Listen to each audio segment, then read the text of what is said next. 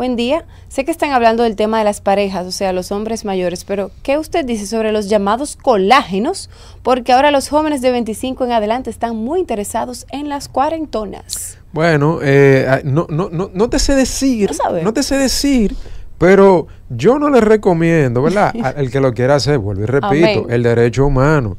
Pero ninguna mujer de 40, 50 años que quiera tener una relación de pareja estable que se meta de que con un muchacho de 25 porque se la va a llevar cachito, literalmente, como dicen los muchachitos ahora, de que el rojo de la cola se la va a llevar porque un muchacho de 25 años está en vivir su vida. Eso aplica para otras cosas. Usted quiere pasar un rato, es su derecho, no está penado por la ley. Usted quiere hacer esto, usted quiere hacer aquello. No tenemos que entrar en detalle, pero todos sabemos a lo que me estoy refiriendo.